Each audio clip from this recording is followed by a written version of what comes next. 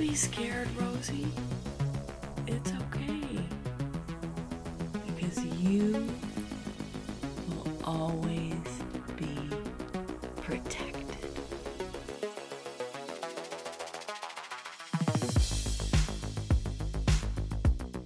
Makes this fish water smell like rope.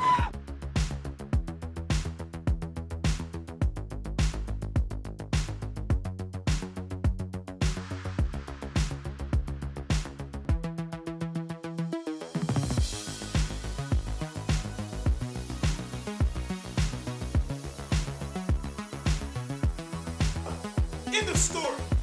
You're oblivious to reality. I'm just tired of hurting everyone.